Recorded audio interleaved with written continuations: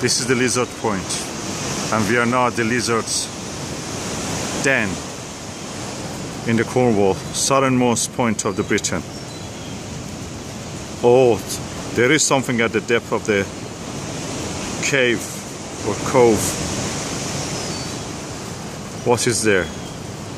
We don't know. Why they call this area lizard?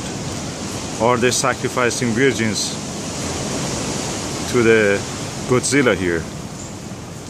Godzilla can be any moment coming out but our virgin is stepping out already. She don't want to be sacrificed for the Godzilla. She's just collecting rocks to throw at the lizard when it comes.